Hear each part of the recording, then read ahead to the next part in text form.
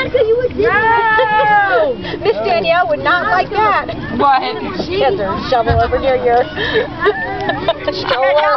You're like a little paranoid. I heard you didn't like sand. Yay!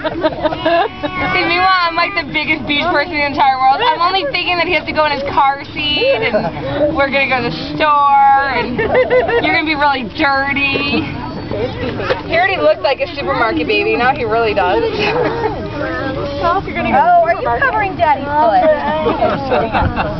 Don't spray me. Nicholas, isn't it fun? Our batteries are so dead it won't turn on. Uh-huh. Yeah. You got good ones? I got, yeah, I got, I got a little feet cross. I thought that was precious.